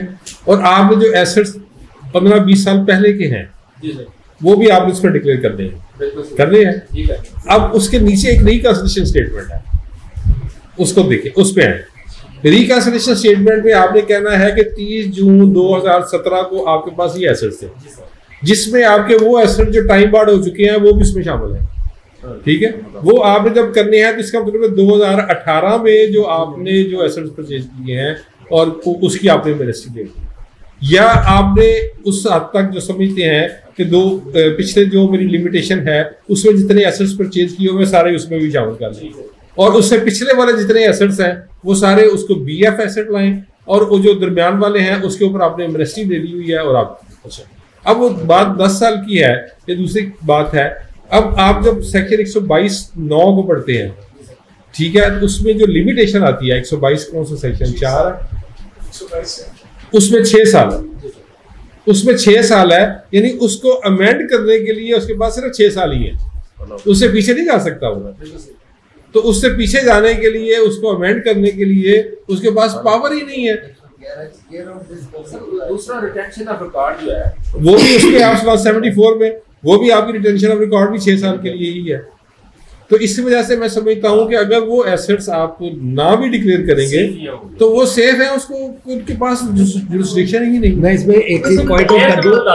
एक हाँ। डिक्लेयर तो मैंने कहा है करें। मैं मैं नहीं इसी को मैं थोड़ा सा मैं मैं जिस वजह से मेरा जो पॉइंट ऑफ़ व्यू है बिल्कुल राज साहब ने जो बात कही है ठीक है मैं भी इससे एग्री करता हूँ। करता था। अब एट प्रेजेंट और मैंने किया है। मैंने 2018 की जो अमनेस्टी आई थी उसके अंदर मैंने जितनी भी न्यू कमर्स की डिक्लेरेशन फ़ाइल की रिटर्न फ़ाइल की जो टाइम बार्ड एसेट थे उनको ओपनिंग वेल्थ में लिया। ठीक है? और उसमें जो इन बिटवीन वाले थे उसको अमनेस्टी में कवर करके मैंने वेल्थ स्टेटमेंट रिकॉन्साइल करके दे दी। मैं अब इस वजह से मेरा ये जो ओपिनियन बनी है उसकी बैक एंड पे सुप्रीम कोर्ट का एक ऑर्डर है। जिसमें उन्होंने बड़ा खूबसूरत हमारे लिए एहसान किया है।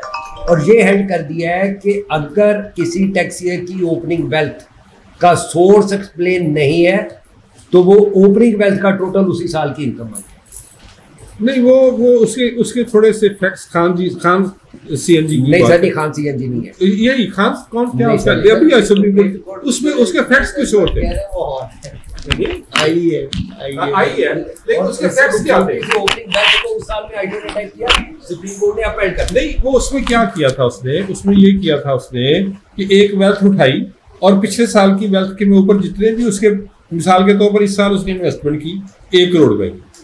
और उसने क्या कह दिया कि ये एक करोड़ रुपया तीस जून 2017 को मेरे पास मौजूद था। इसलिए मैंने उसमें से उठा के तो कर दिया उसके फैक्ट्स कुछ और थे। जो हम जो बात कर रहे हैं वो हम उसकी एसेट्स की बात कर रहे हैं कि जो कि मेरे लेजिटिमेट एसेट है जो मैंने दस साल पहले परचेज किया था उसकी रजिस्ट्री मेरे पास मौजूद है कि उस साल में परचेज किया।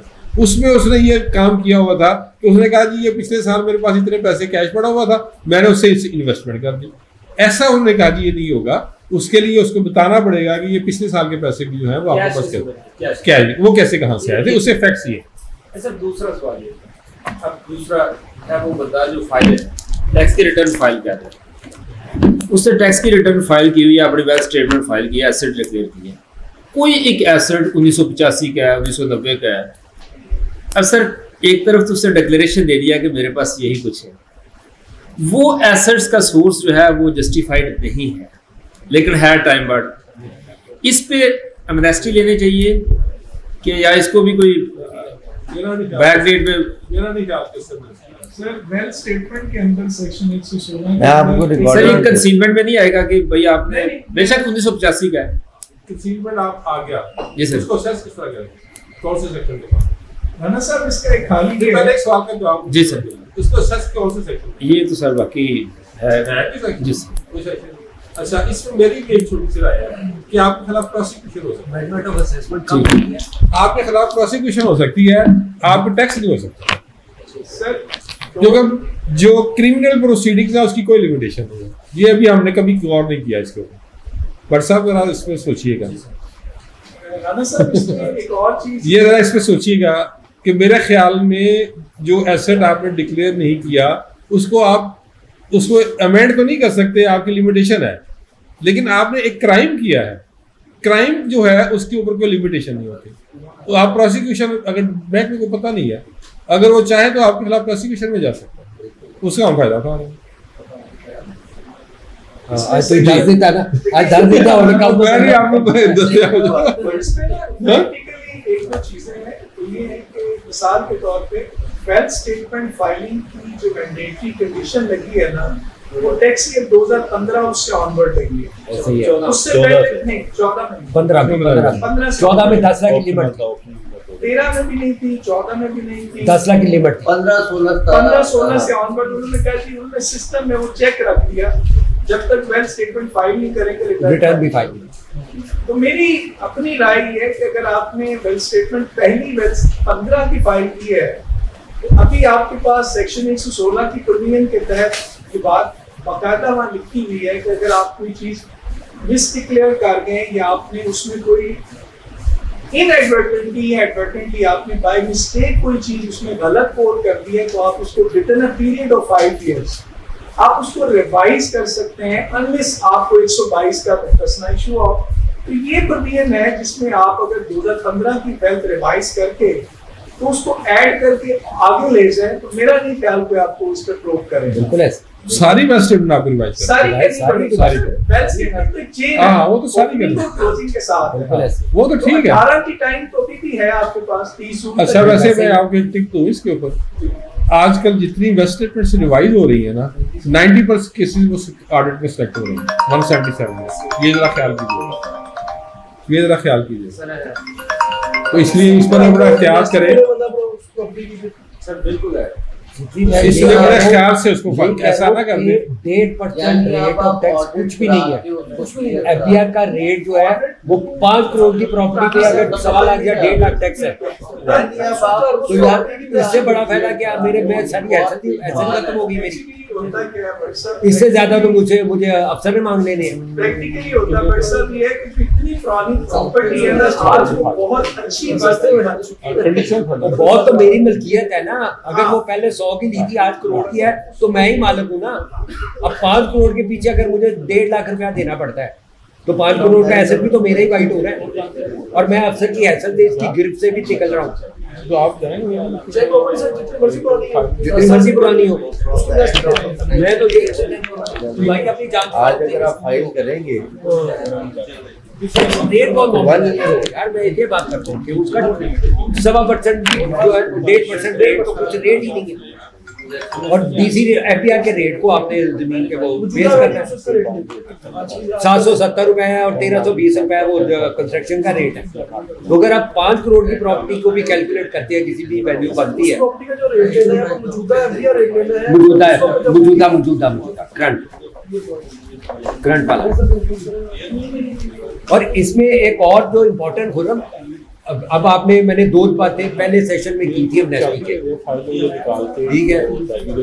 एक, उसमें मैंने जो आया था, ये जो बात हुई थी कि पेंडिंग केसेस कोर्ट इन लावन अब जो क्वेश्चन आंसर अगर आपने भी पढ़े हैं, और अगर वो एफ़ के हैं, क्योंकि अभी तक मुझे एफ़ की वेबसाइट पे वो नहीं मिले। व्हाट्सएप के मैसेज नहीं मिले हैं, अब वो पता नहीं वो एफ़ की तरफ़ से आए हैं कि किसी बंदे के पर्सनल है, ये भी नहीं पता। लेकिन उसके अंदर भी यही बात कही गई है कि जो केसेस लिटिगेशन में है, वहाँ पे आपने वो टैक्स अदा करना है जो अफसर ने लगाया। जो अफसर ने लगाया। ठीक है? सिर्फ़ आपको उसमें छूट क्या है पेनल्टी है और एडिशनल डिपार्चर चार्ज वो नहीं जैसे पहले भी वो एक स्कीम में आती नहीं। प्रिंसिपल लाइबिलिटी जमा कराते हैं वो याद है जो सो वो ऐसे cases tax arrear settlement scheme जो है ना वो भी इसमें बिल्ट इन है। वो। मुख्तलिफ़ चीज़ें हैं दो मुख्तलिफ़ चीज़ें हैं। ये वो गौर नहीं किया गया। हाँ। ये even at the federal board of revenue has not highlighted this aspect कि ये आपकी टैक्स एरियर सेटलमेंट स्कीम भी है। जिसका इख्तियार बोर्ड के पास भी एक जमाने में रहा है। तो अब जो आपका उस दिन का सवाल था वो अगर मैं रिकॉल करूँ जो उस दिन यहाँ डिस्कशन भी चलती रही है इसके वाले कि ये जो पार्ट है ये कहाँ कहाँ तक अप्लाई ये कौन केस केसेस पे अप्लाई करेगा? यहाँ कोर्ट ऑफ़ लॉ वाली कदगन है कि नहीं है? ये कौन से केसेस पे ने 111 का एडिशन मेरी वो कोर्ट ऑफ़ लॉ वाली कदगन दूसरी कदगन है। ये टैक्स एरियर वो हैं जो इवन फाइनल भी हो गए हैं। तो उनकी भी पेनल्टी और डिफ़ॉल्ट सरचार्ज से माफ़ी इसको आप दोबारा से दोगे यहाँ पे कोर्ट ऑफ़ लॉ वाली लिमिटेशन नहीं है। ये टैक्स एरियर है। फाइनलिटी अटेन कर चुके हैं। सुप्रीम कोर्ट ने कह दिया जी आपने देने हैं। तो जाएँ जाकर प्रिंसिपल जमा कराएँ ना पेनल्टी लेंगे ना डिफ़ॉल्ट चार्ज वो जो कोर्ट ऑफ़ लॉ की कदगन है वो सिर्फ़ एसर्ट्स एक्सपेंडिचर्स और सेल के वाले होते हैं। वो ये वाली इस पे नहीं लगती। इसमें अभी रिसेंटली आज एक दोस्त ने शेयर की है राणा साहब तो वो कह रहे थे कि कमिश्नर अपील के पास गए थे कि जी मुझे स्टे दे दें। उन्होंने आगे से कहा क्यों ना आपका ये दो सौ छत्तीस के का इशू है तो आपका ये हार्ड कर दें उन्होंने हर्ट करके उसको रिमांड बैक किया है, इस बात पे कि काउंसिल ने कहा जी मैं इन दोनों केसेस में एमएसटी ले रहा हूँ।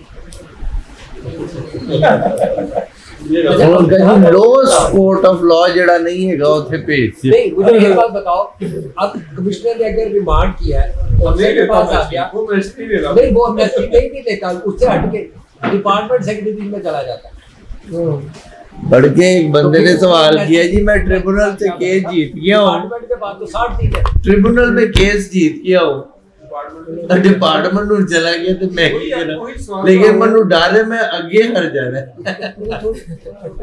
सवाल जो आपने में किया था प्रेसिडेंट साहब ये वही सवाल है जो आपने में किया था ऐसे एग्जैक्ट वही सवाल आगे मेरे हार जाना अब मैं क्या करूँ उसे मैं मशवरा देना चाहता था लेकिन मैंने किया कि सारा ऑनलाइन चला जाना वो जाके कमिश्नर से रिक्वेस्ट करे यार ये रेफरेंस भी प्रोग्राम में मैं जो है ना इसके ऊपर बुला।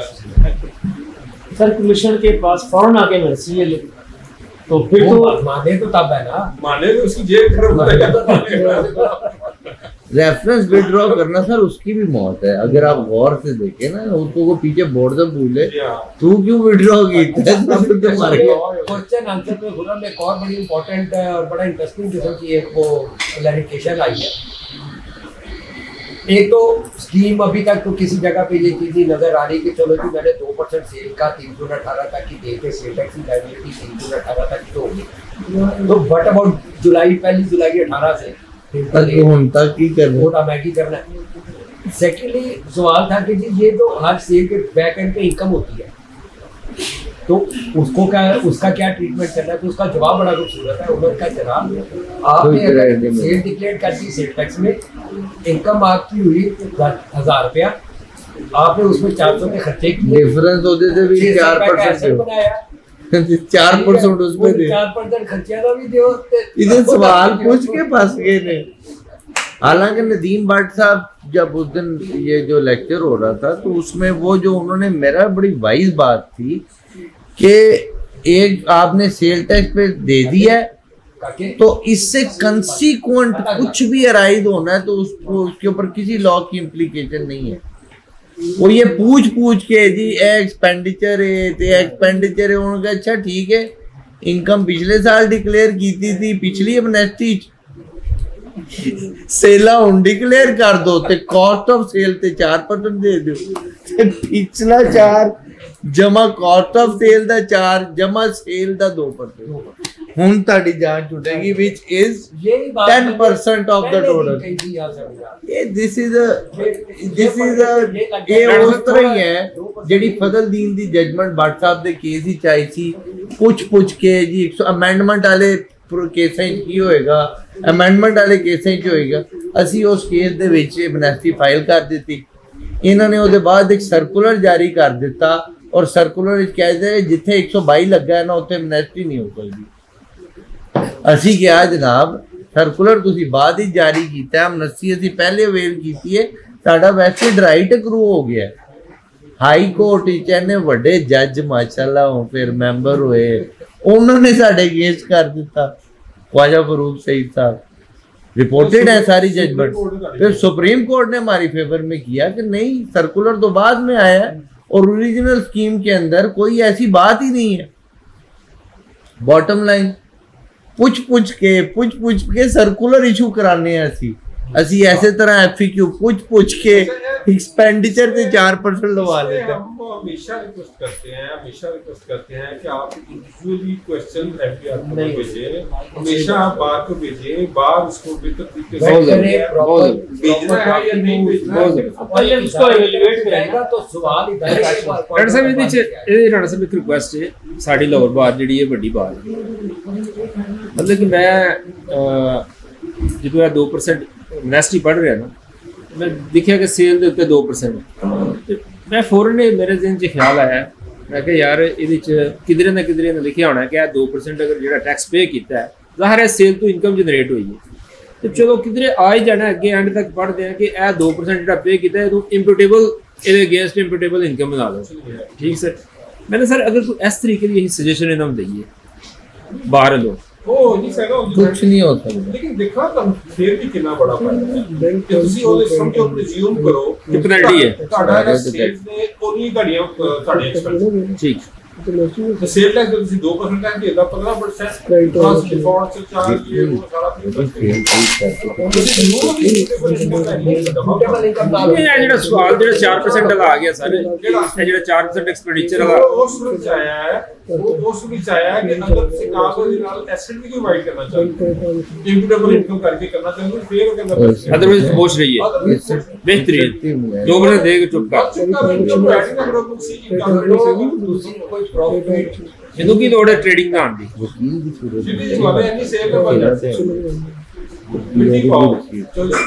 बिल्कुल सही सर बहुत शुक्रिया थैंक यू सर तमाम बुज़ुर्गों का बड़ों का भी शुक्र गुजार हूँ तशरीफ़ लाए तमाम दोस्तों का। कोशिश ये है कि हम सब लोग मिल बैठे चीज़ें डिस्कस करें नई चीज़ें सामने आए। उसमें जो कोशिश हमारे बुज़ुर्गों की रही है ना खूबसूरती पैदा करने की ये मुझे बहुत पसंद आई। ताहिर ताहिर भट्ट साहब इज़ वेरी क्लियर कि मैं और वालिद साहब हम लोग जब इकट्ठे बैठते किसी ना किसी प्रवीण से लड़ाई हो जाती। यानी कि उसमें तौबा नाउजुबिल्ला मैं अपने वालिद की वो इज़्ज़त ना करूँ ऐसी बात कतल नहीं है। Then we are sitting as professional and we we discuss मैं कहना मैं ਤੁਹਾਡੀ ਗੱਲ ਨਹੀਂ ਮੰਨਦਾ ਉਹ ਕਹਿੰਦਾ ਮੈਂ ਤੇਰੀ ਗੱਲ ਨਹੀਂ ਮੰਨਦਾ and this is the beauty we bring something new WhatsApp ਤੇ ਸਾਲੇ ਦੇ ਤੌਰ ਤੇ ਹਮੇਸ਼ਾ ਵਿੱਚ ਬੈਠੇ ਹੁੰਦੇ ਨੇ ਕਿਹਦੀ ਪ੍ਰਵੀਨ ਉਹਨੇ ਨਹੀਂ ਹੁਣ ਮੈਂ ਤੇਰੇ ਨਾਲ ਨਾ ਉਸ ਕਮਰੇ 'ਚ ਜਾ ਕੇ WhatsApp ਕੋਲ ਬੈਠੇ ਨੇ ਕਹਿੰਦੇ ਤੇਰੇ ਨਾਲ तो सर ये खूबसूरती है ये हमारे प्रोफेशन की भी खूबसूरती है और हमारे बुज़ुर्गों की खूबसूरती है। आपकी बहुत मेहरबानी है अपनी इतनी कीमती टाइम पे है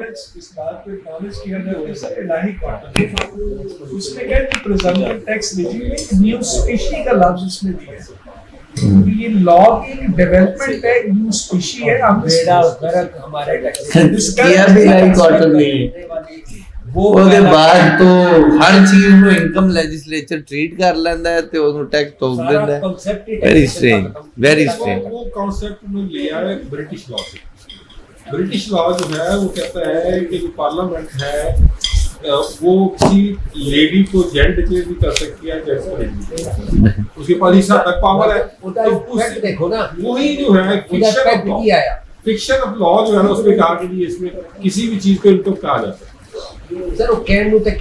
पर फिक्शन मुंडा नहीं जम सकता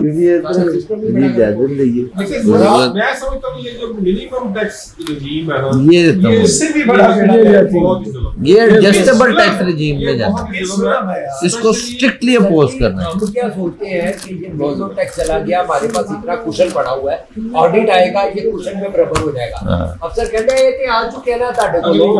अगला टैक्स दो कितना देना वो तो उसका तो जाया ऐसे ही। गया जब बिजनेसमैन बाकी जमा कराते हैं मुझे क्या देते हैं। ये specially attach to our profession है। ये हमने 10 परसेंट बड़ा टैक्स काटा जाता है वो कहता है ये मिनिमम टैक्स है। फ़ीस के ऊपर जो minimum tax काटा हाँ, जाता है, बिल्कुल, वो कहता ऐसी- ऐसी। ये- ये ज़रूर। मैं तो सोच रहा था इस दफ़ा सजेशन भेज के इसको फाइनल में कराए।